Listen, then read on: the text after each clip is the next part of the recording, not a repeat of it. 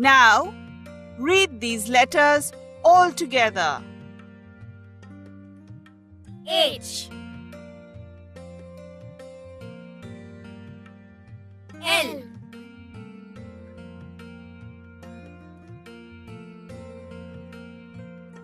R.